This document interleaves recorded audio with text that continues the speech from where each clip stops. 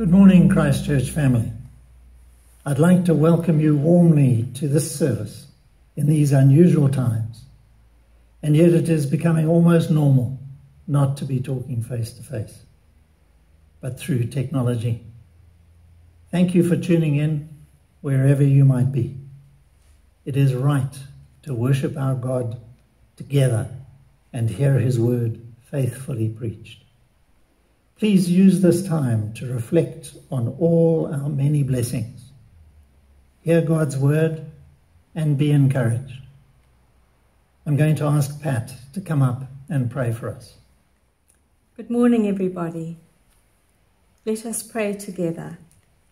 But first, I'd just like to read a couple of verses from Romans chapter 8.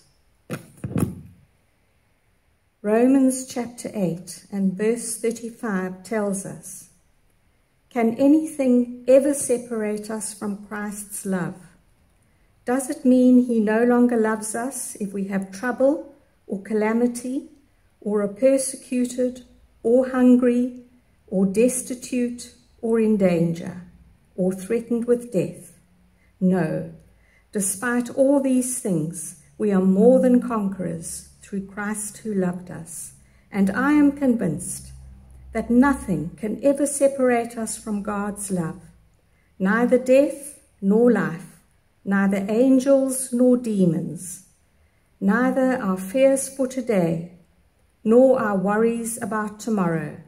Not even the powers of hell can separate us from God's love.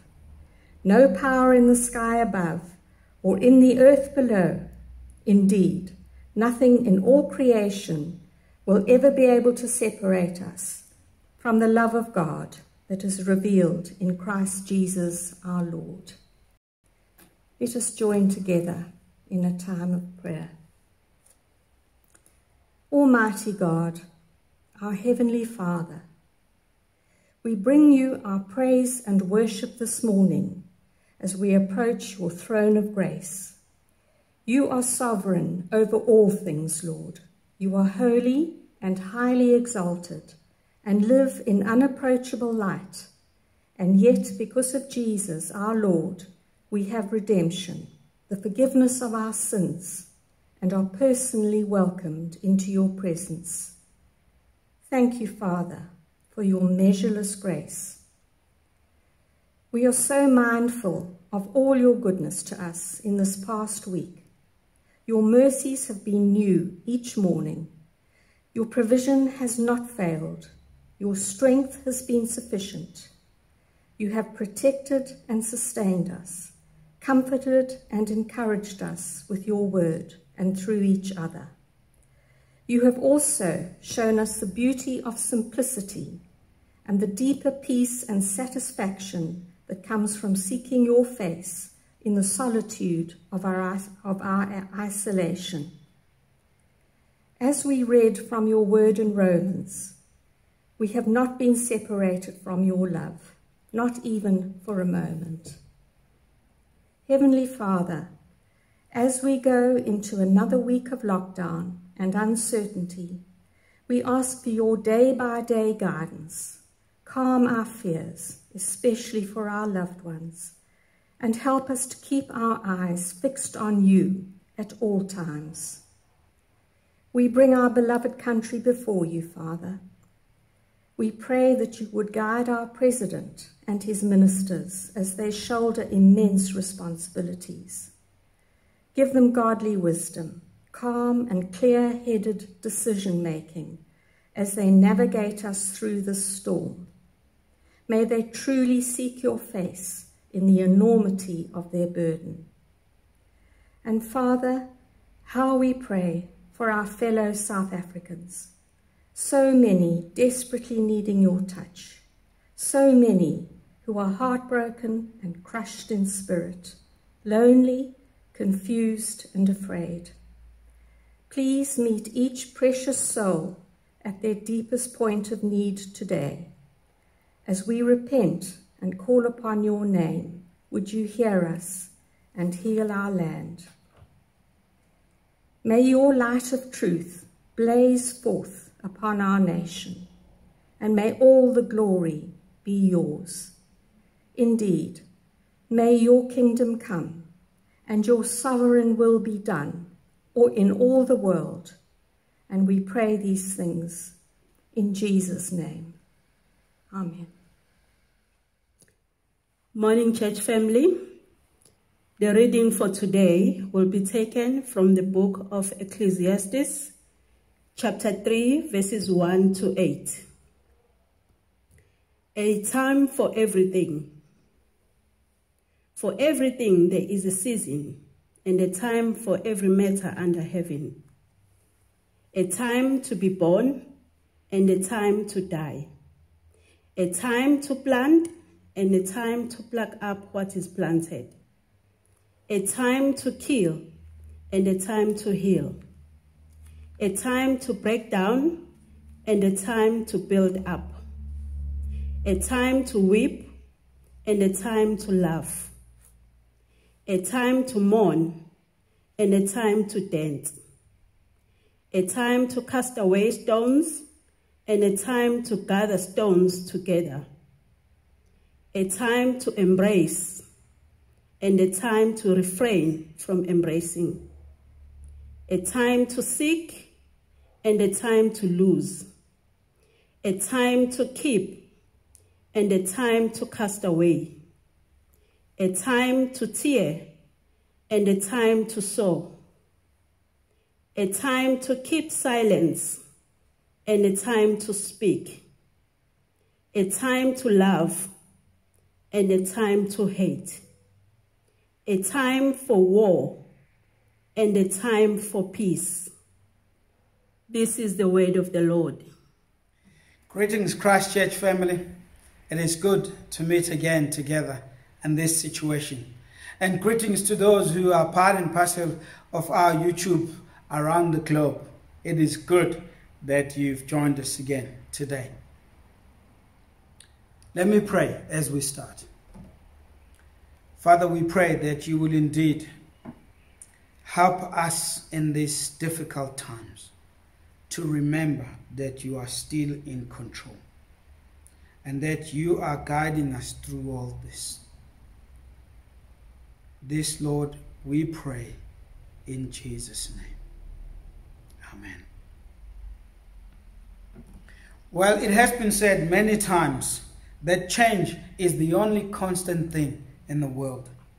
And so many changes are taking place in our lives at the moment. And a lot of these changes are forced on us by something so small that we can't even see it with our naked eyes, like COVID 19. This virus has changed everything we know about our lives and about ourselves. It has changed our plans as a church, CCH. We started the year with a great plan of Reach 2020, where each person was going to reach at least 20 people with the gospel. We had gospel connection. We had Connect 2020. We had all kinds of ideas of reaching many people with the gospel. Well, that at the moment is sitting in the back seat. Our Bible studies are still in recess and we are not doing much because of the lockdown in our country. Your business plans, I'm sure they are changing as we speak. The schooling has taken a different direction. So many of our schools, even public schools, they are trying to go online. Universities gone full on online. Things have changed, and the way we understand education is changing and it's changing big time. For a longish time, there shall be no handshakes, there shall be no hugs, but waves. We'll be waving at each other. This year, we've learned a couple of new words. You think about it coronavirus, COVID 19. How about Bluetooth hug? These are words we're using at the moment to, to, try, to learn to live in this challenging life. Most of us have to spend so much of our time at home. And I think in the last five weeks, I spend more time than I have in the last 10 years. I'm probably the same with you. And I, for one, I don't remember watching so much TV like I've done in the last five years. You read books, you read novels. And I think those who read magazines, you've gone through all your magazines. Because we locked down, you're at home. So much is changing. It's change, change, change. And the passage we look at this morning, I think it's a very encouraging passage. Passage we looked at earlier this year. Ecclesiastes 3. Where we are told that there is a time for everything. And that a season for every activity under the sun has already been decreed by God for us. In other words, God has pointed the times and the events for your life and my life. And some of these will be happy times, and some of them will be sad times. Some of them will be times where we celebrate, but some of these times will be times where we mourn. We are called in this passage to really learn to trust God and to take each day as a gift from God. Our God is sovereign, and the Bible tells us that our God has a reason and a purpose for all of us. From the beginning to the end, God is in control of your life. From the time you are born to the time you die, God will still be in control of your life. Nothing would happen to you without God's knowledge. Nothing will take God by surprise. You know, even this coronavirus, it has taken us by surprise, but it hasn't taken God by surprise. God allowed this. And this is just a part of our story. I love the way verse 11 of this uh, chapter, chapter 3, says, God has made everything beautiful in its time. God has made everything beautiful in its own time.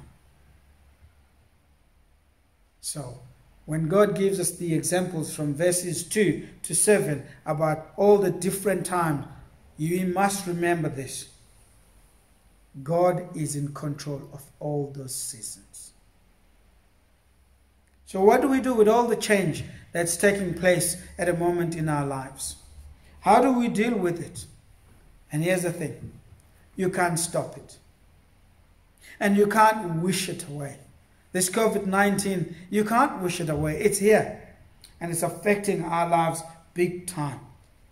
We can choose how to respond to it, we can choose how to deal with this change. One of the things we have to do is to make real changes ourselves because of COVID 19. And this is the time for us to break down old habits and to learn new ones. This is the time for us to get rid of some habits in order to learn new ones. It is time to cast away our fears and time to learn to trust God. Our lives would never be the same after this COVID 19. They would never be the same. Change is inevitable. And when it comes, we have to embrace it. Because if we embrace it and work with it, we can actually thrive in it. I mean, in this difficult situation, what we do with the time at hand would make a huge difference in how we come out on the other side of this lockdown. Think about our physical growth. Our children, babies, and their little fellows, they crawl. But as soon as they learn to walk, they stop crawling. And guys, in their five years, seven years, you see them running along the street. They can run for the sake of it. Well, as you get older, you don't run for the sake of it. running is an off effort. And so we see so many people, instead of jogging, they walk, but they're still exercising. And as you get even older, you learn to bring with you a walking stick to, to help you balance. You see, what that means is that we change as we go. And you can really be bitter about the fact that you are no longer able to run for the sake of it. Or live in the past that you used to be able to run. In fact, you ran Comrade marathons and you did this and you did that. It doesn't help. You've got to change and embrace the time where you are, the season you're going through, and with a clear understanding, it will come to pass. Change may not be comfortable at times, but change is good for. So, when these changes are taking place, there are three things I would like you to really think and try to apply in your life. And the first one is this you must learn to trust God. Learn to trust God. When change brings difficult times and, and your life really str- struggles, remember this God is with you, and God still holds your future. And where you are now is not where you will be forever. It's a season, and the season will come to pass your pain, your fears, your struggle, your frustration, whatever else you want to throw in that list, it will come to pass. You may be down and you may be feeling totally defeated, but you must remember that your God is not done and is not defeated. He is with you, He is carrying you, and He will continue to sustain you. Don't let your current difficult time to define your future. Talk to God. Present your case to God and ask Him to be your guide. Remember what God said to Jeremiah. It was difficult time. Israel was going through a painful experience and exile was right before them. And God said to him, don't stress, even though it's stressful time. He puts it this way For I know the plans I have for you, declares the Lord plans to prosper you and not to harm you, plans to give you hope and a future. God said these words to Jeremiah when life was really difficult. Yes, Jeremiah, you may have to face exile. Yes, you may have to endure real difficult time in your life, but do remember this. I have a plan for you. And the plan is to prosper you, not to harm you. My brothers and sisters in Christ, what is God's plan for you? I don't know. But I know that God has a purpose for your life. I know that God has a plan for you. Learn to trust Him. Come to Him. Speak to Him as your Father. And most importantly, don't assume the worst. You know, at the moment with fake news and social media stuff that we get, and everybody is just forwarding this bad news. And here's the thing you might be tempted to think you will get coronavirus and you will die do remember that not everybody who contracts the virus dies. And therefore, you don't have to think that when you, if you get it, you will die. Because if that is your conclusion, therefore your plans will be very different. Many of us will most likely to contract the virus. But many of us will survive it. Yes, some of us may not, but many of us will. But all of us, we've got to plan as if we will make it to the other side. Because we cannot plan to die. That is God's responsibility when we die. Ours is to plan for our future. Yes, that future is in God's hand, but we have a responsibility to plan. We will go through this. And many of us will be stronger on the other side because this will come to pass. The virus is here, but one day we will be talking about it as do you remember in the times of that virus? It will come to pass. Yes, it is a scary chapter in our lives, but it is not the entire story of our lives. And therefore, don't let this chapter of your life to become the entire story. When you phone people and you send messages to people, send messages of hope, messages of encouragement. When you want to forward something, forward something that will build people up, something that will encourage people. Because yes, we're all going through this very difficult and challenging time, but we will it will come to pass. But you have to make changes. And you have to make drastic decisions about your future.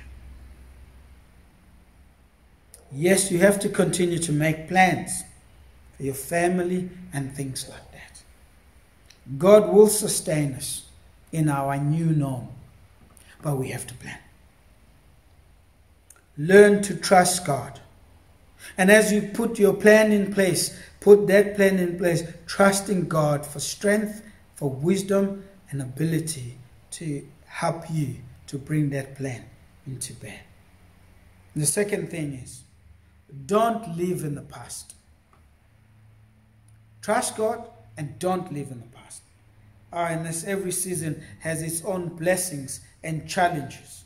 And when God brings a season that brings wonderful things in your life, celebrate it, be thankful, and rejoice.